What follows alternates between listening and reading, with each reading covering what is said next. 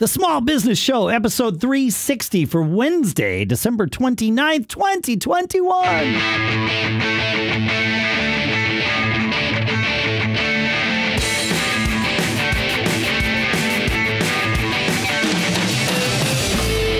Greetings, folks, and welcome to the Small Business Show here at businessshow.co. The show, the place where we are small businessing every single week. Sponsors for this episode include napjitsu.com slash SBS, where you get 30% off your first purchase. We'll talk more about that in detail in a minute. For now, here in Durham, New Hampshire, I'm Dave Hamilton. And in Lafayette, California, I'm Shannon Jean. How you doing, man? I'm good. It's it's crazy this time of year. Yeah, it is always crazy trying to stuff the last of the business in the, the Yep. last couple weeks and uh, make things happen so we can take a little time off with family and friends. Exactly. It's terrific. And I'm trying to figure out. We're re, we're recording this about the middle of the month, and I'm I'm trying to Yeah. figure out if I need to do something different for like a 401k with one of my partnerships for this year, and if that's the Yeah. case, or maybe maybe not a 401k, uh, like a SEP kind of thing, because we don't Sure. have employees with that particular business. It's you know, so we can do it Yeah. Self-employment. But the SEP, you know, the SEP is Im- impacted if you have any business that has employees. You got to be careful, right? You, Yes. If you own any portion of another business that has employees, you're kind of limited on the SEP. yeah, it's true. I didn't. Yeah, yeah. yeah I'm true. doing the same thing. I have my wife is is. Uh, don't tell her this, but she's my employee, Right. and uh, I really, I really work for her. However, uh, for the mo- for one of our companies, um, she's employee and carries the health care and all that kind of stuff. And then Right.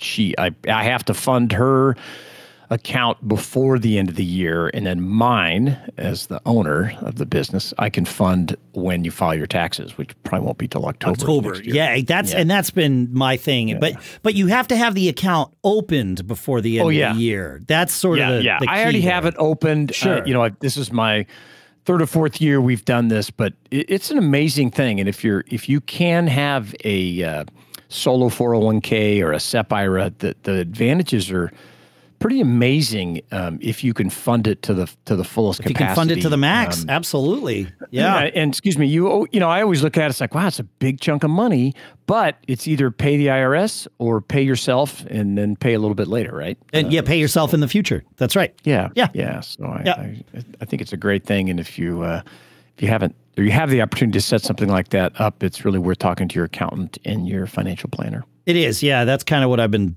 dealing with and and my partners because as you said, each partner's individual scenario with, you know, where they live and what you know what other interests they have and do they have employees there and this that and the other thing like it all factors Yes. in because we have to treat each other equally in this regard like that is one of the the mandates i think is you know everybody has to be contributing the same percentage and the company or the Ah, company has to be contributing the same Yeah, percentage that's right. uh, you know for for that and it it just gets yeah It's complicated, but if you it, if you get it figured out, it can be really beneficial. it yeah i'm just trying Definitely. And and you know, for, I haven't been able to do it forever because I've always had employees at one business or another. But Yeah. now that I don't, yeah I just have contractors. It's like, oh, it's a whole new you know opportunity that That's a whole new world. That's Yeah, interesting. It's really. I good. wonder, this is a question I'm going to ask my accountant. Don't follow my advice uh, other than to ask your accountant this.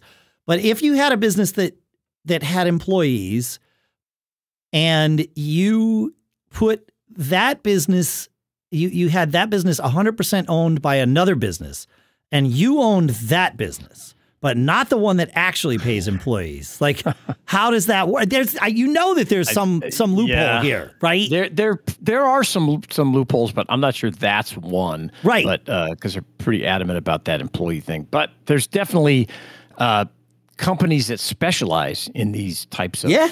plans, and uh, I, I, you definitely want to reach out and No, that but uh, like to me, sure. those are the questions because you're right. That I mean, that's a simple question that has probably already been. Uh, if that loophole ever existed, it's probably already been plugged. closed. Right. Yeah. But by asking that question, I lead my accountant down the right path of saying, oh, no, you- dude, you can't do that. If you wanted to do that, what you'd have to do.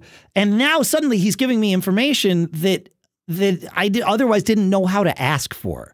Yeah, right? that's a good point. So I- the, the conversation going. I'm s I'm totally fine floating what appear to be stupid, crazy ideas, especially to my accountant. Like, hey, what if we did this? Because sometimes there's a pause on the other end of the phone, and the accountant's like, you know, that might work. yeah, you never know. Uh, yeah, You're right. But but a lot of times it's Yes. yeah, nice try, but Yeah. but here's what you'd have to do, and then you can look at it and say, all right, is it worth whatever expense, headache, risk of doing you know scenario B that's actually still you know somewhat feasible versus you know my my simplified scenario A kind of thing. But uh, Yeah, and and always remember, you know, your risk profile is probably very different from your accountant. So you get to make that final decision. Ultimately, you're going to pay if there's a fee or a fine or something happens. hopefully not jail time. goes- hopefully not jail, uh, of course. And so yeah, so you have to listen to your accountant, but you, ultimately you have to make a decision because you're uh, you're you're ultimately responsible, and you know, got to look at see what uh, what makes sense for you. Yeah, well, that's it. Exactly. I, I always say it's good. I like having an accountant who is slight, like one or two notches more risk averse than me. Makes sense. I, I Yep. don't want someone that is so far on the other side of that that they can't even comprehend or aren't comfortable working with someone that says, okay, thank you for explaining these risks to me. I understand. I think this year I'm okay doing it this way versus that way. You know, that that kind of thing. Because there are there are those scenarios where it's like, well, you know, you're you're on a gray line here. Which side of it do you want to choose to be on? And sometimes I'll choose to be on the what, what I would call the safe side, and sometimes I'll choose to be on what I would call the profitable side. Y- You know, and Yeah. it's like it's hard to say how it would be interpreted in some of these things. And and you have to have I like to have an accountant that's okay with me making either decision. Um, you know, within reason. Obviously, if it's Yeah, if there's that's a right. Crime being committed, I, I'm not interested in that. Well, at that point, hopefully your accountant would say, "Hey, Dave, I can't represent you. I can't anymore." represent you. Yeah, exactly. Yeah. Yeah. I had an accountant that was actually on the wrong side of that. It wasn't the case throughout our relationship, but it it morphed into this where I feel like I was being encouraged to commit crimes. Oh, that's not good. And it was like, No. okay, I need a new wrong accountant risk now. profile. Wrong. Yeah, we're, we're, we're, we're- I'm on the wrong side of this equation. I need to be the guy dragging us down, not lifting us up. Yeah. right. Yeah, yeah, yeah. and and the thing I'll you know last comment I'll make on this uh, solo 401k or SEP uh, IRAs, it's a little challenging if you try to set one up in the last two weeks of the year because there's a third entity involved in managing and creating this plan. Yes. Uh, you can do it, but you really kind of have to push, and you're probably going to pay a little more in fees. I think my plan is like 300 bucks a year for them Okay. to Yeah. file the paperwork and do all that kind of stuff. I have these things set up. So I like that third you're right. There is the third part the, the part that's either the financial planner or just the you know the the administrator of the plan. There's another administrative company. Yeah. Correct. But I already have that relationship.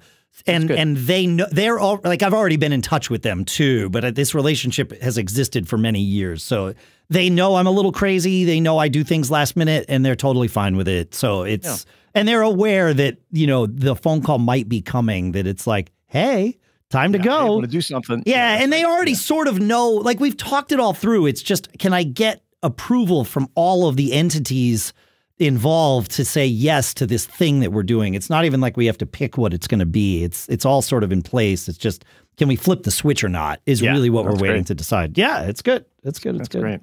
That's good. So Hey, hey, you know, we we don't tell me what we're gonna talk about ahead. today. Yeah, no, no, no. we no. don't talk about the news very much on this show, but I did just see this morning that the producer price index rose to 9.6 percent year over year, which is the largest increase in history. Uh, which, of course, what that means is inflation is Yeah. rampant.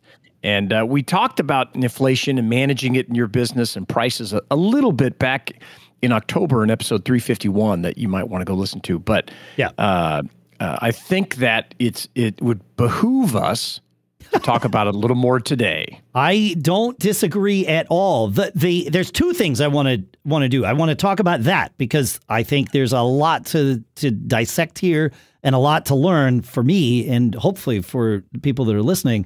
Uh, the other thing that I want to do, and I'd love to do it right now if that works for you, Shannon, is talk about our sponsor for this episode. Yeah, let's do it. All right. Hey, 72% of Americans report being tired every day. But when was the last time any of us took a nap? For me, it was today. That's because a power nap helps me reset my body and my brain, unlocks all the energy I need. And if you want to empower your power nap, let our sponsor Napjitsu help. Napjitsu's natural supplements were made by people who know how it feels to be tired and busy.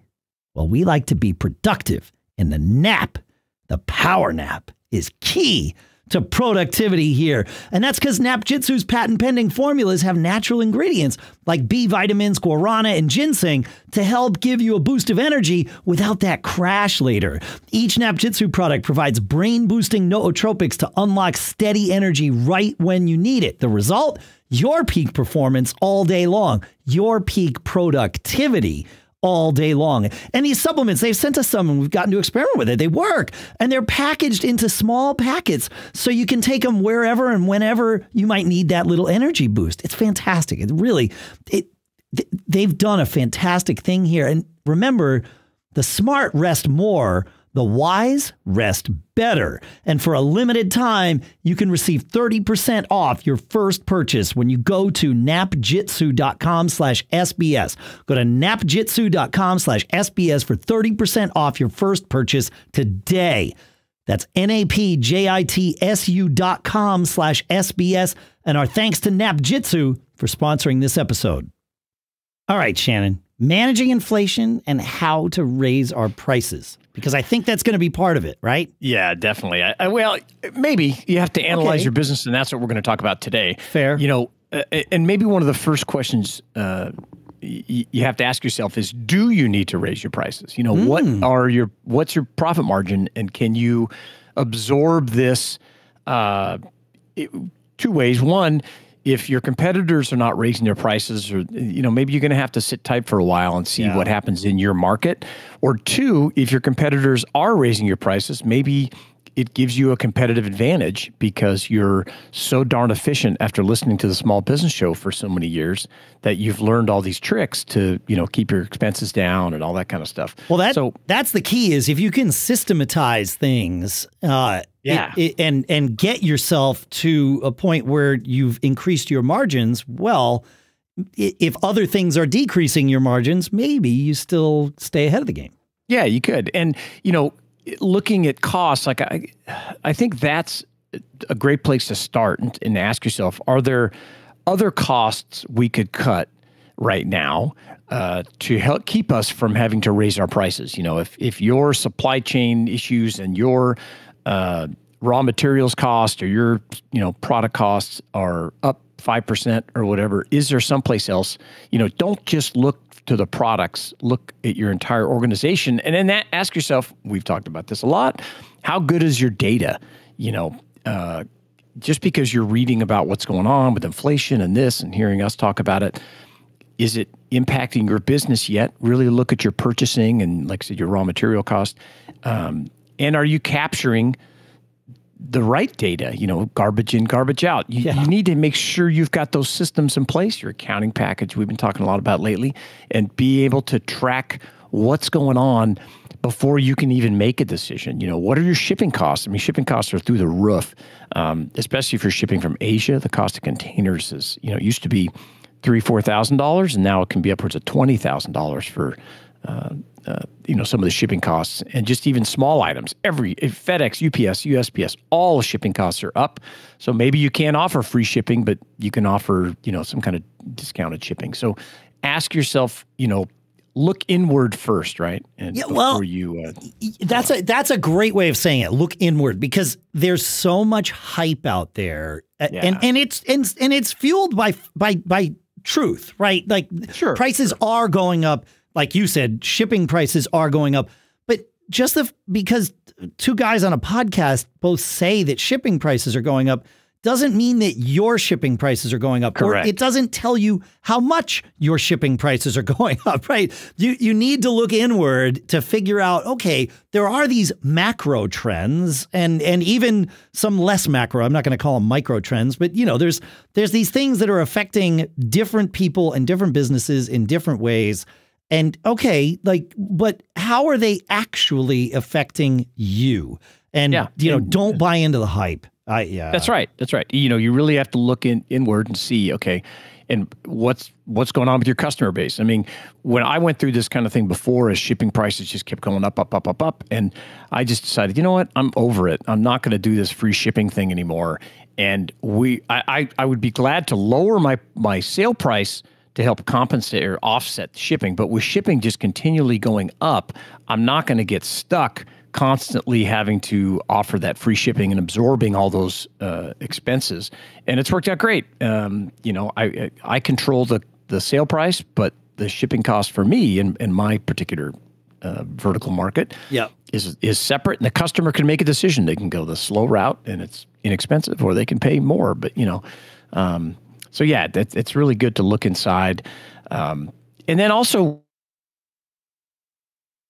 this idea of do you have to raise your prices? You you cut out for a second there, and I think you Oh. didn't just cut out for me. I think it cut out for everybody. Okay. So Am I y- you, I'm- asked some here? question about do you have to raise your prices? Is is that yeah, what? ask yourself then before you get to that point. We're not there yet. I, I, I think there's some other things you can do, and one of the first things you can do is to increase the perceived value of your product or service. And, and what I mean by that are there things that you can add and bundle together. So even though you, you you're going to increase the price, you've added something that adds value to where the customer's perception is not going to be like, well, they raised the price and they didn't give me anything. You know, can you uh, add a longer warranty? Can you give them more support? You know, uh, can you gift wrap? Can you personalize things? Bundling things is a great way to take the focus off of a single item price that you may have to adjust and need some flexibility with. Makes sense. Yeah. Yeah. And, Yeah. and then another thing is can can you change your product and offer it at a premium? Um, you see brands doing this all the time where, oh, you know, this product is made out of a little nicer fabric and, you know, this color is a little different and this kind of stuff. Can you offer different levels of of pricing? Um, and uh, you know to, to get that customer in the door it's like okay well, here's this basic thing but if i really go up you know want to go here i'm going to pay a little bit you know more. Um, and different options. Like a, a great example is you, you you have a customer looking for a pair if you're in the shoe business. Sure. you look for a pair of shoes well I, my shoe size is probably maybe the most popular shoe size and i'm looking and i go great. Oh these are only you know 75 bucks but that's for like a size 7 well when i go to size 10 it bumps up 10 bucks or Oh, 20 really? bucks So Oh, my yeah, my size time. 13 feet cost more. Of course they do. There's more raw materials involved. that well, yes you would think that but maybe based on popularity as well maybe Oh. 13 is a good deal maybe you start at 13 because it's you know there's not that many freaks out there like you have a size 13 shoe None taken, by the way. Yes, yes, of course, of course. But you know, so can you adjust, uh, you know, things like that? And what you're also doing is is when you always have that low priced option, you're anchoring the customer's expectation, right? They're going to see that lower price first. Oh, it's fifty bucks, but to get what they really want, they're going to have to do a little upgrade, right? It's like when you oh. you go to the movies and you buy the popcorn. And you know, whether the small is I don't know five bucks, and they say, "Well, do you want the medium? It's only five seventy five, and you know the large is only six fifty. So here you're And you get free refills with the large, Yeah, as though you're going to eat more than a Yes. full bucket of large popcorn. yeah, whoever came up to that one is brilliant. Brilliant. yeah. So you're meeting the expert expectation that the price is the same Yes. or lower, Right. And uh, is met, but just for a little bit more, they get what they want, and that could help you because your cost may not be any more at all on that other option. And uh, you know, I would argue the cost of that added little scoop of popcorn is nothing. Um, the nominal, you know, the nominal cost. Uh, so ask yourself that. I like Look that. I like that idea. That meet meet price. You don't want to bait and switch people, right? No, no, no, of meet, course not. Meet price expectations, but but then offer Give them options. Yeah, a, option. a value add, an apparent value add. Let's call it that. Like you know, like we were saying, the, the you know the the free refills on the popcorn. If it costs if if it costs anything in raw materials, it's it's negligible. I would Yes. think. That's right. you know, unless Well, it- unless you have the entire theater of people in uh, working together and they buy one popcorn and then you just keep sending it around. Now, I think with COVID, that's probably not going to happen anyway. But uh, Right. but you know, you could work the system that way, and that that might work out. But otherwise, not. You know, you, you have very little very little downside risk with uh, That's right. with that as a movie theater owner. Yeah. You got it. Yeah. And so there's all, there's all kind of, I mean, go go search Amazon to buy uh like let's say you want an SLR camera, you know, a, a Sure. big camera with the removable lenses and everything. It's almost impossible just to buy the camera because there's a million different bundles.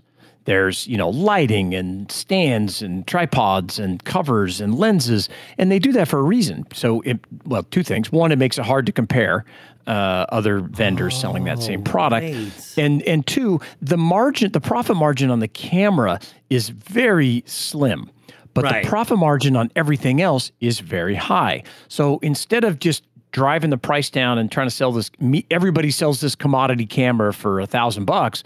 Well, for twelve ninety nine, you get all these extra little items, and the all of the profit may be in those little extra items. The camera is just the teaser that nobody makes any money on. So it's I mean it's why I have to buy a bundle if I'm ever buying an Xbox. If you've ever done that, same kind of, thing. Same thing. Yeah, Yeah. 'cause You know they- who makes all the money on the Xbox? Sony. you know, or whoever makes it. Microsoft. I think it's makes it. Microsoft, right? But yeah, Yeah, they make that one. Oh yeah, But, they, uh, you it's a get the point. huge margin on for them. Yeah. yeah. For them. They invented it, right? So they get it. right. Well, they did the Uh, R and you D. know. Yeah, exactly. Yeah, they did all the R and D. So yeah, so they get it. So think about that bundling and how we could, you know, h- how you can adjust it and, and change it and get away from just having that that if you're in the product business, how to get that out of there. And the same with if you're in the service business. If you're going out to do HVAC work, well, maybe your price has to go up a little bit, but you include a free cleaning or we'll change your filter at the same time we're there when we're doing a repair. You know, I don't know. I don't know that business at all. But there's some things you can add.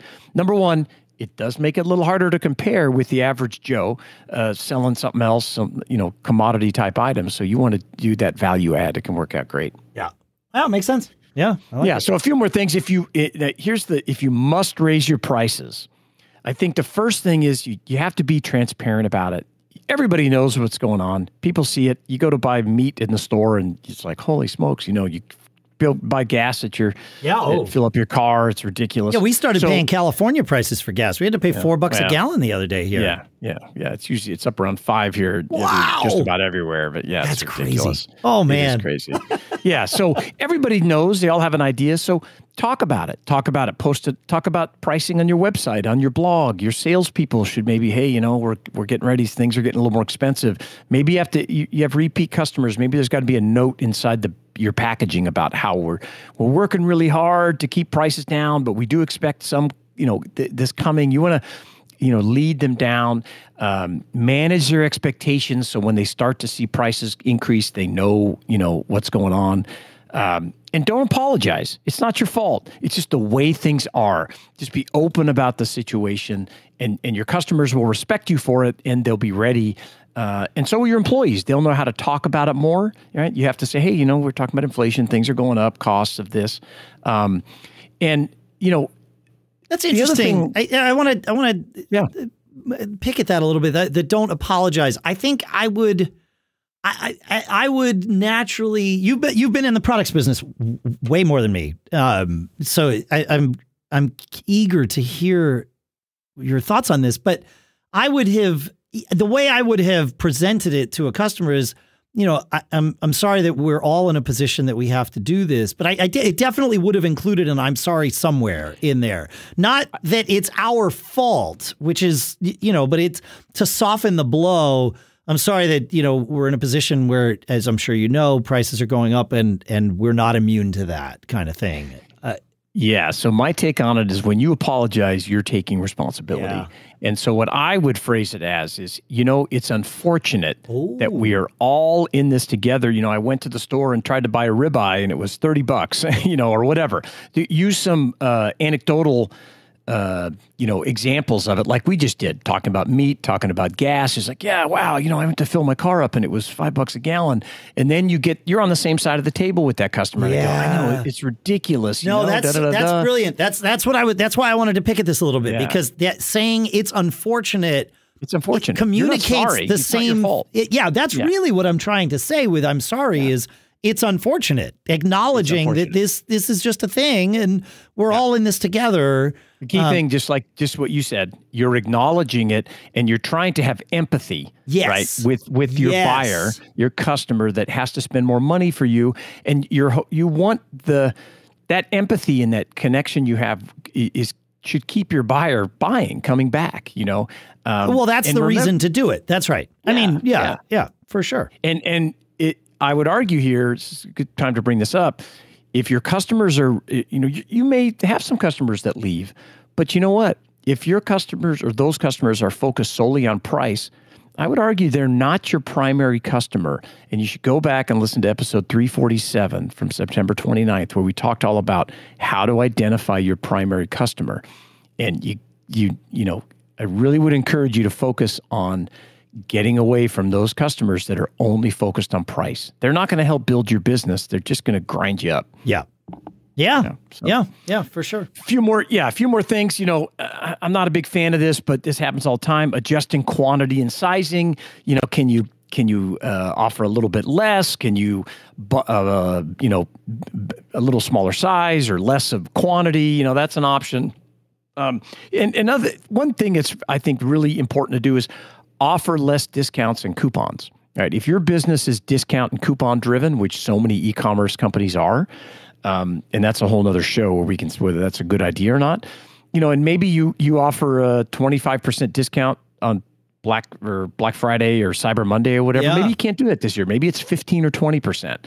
Um, you still get that you know bump like oh yeah they're going to give me this this off, but um, you know just just decrease them a little bit, and and then maybe you give that higher discount if they bundle or uh, you know, get over a certain dollar amount. So you can start thinking about increasing your average order size.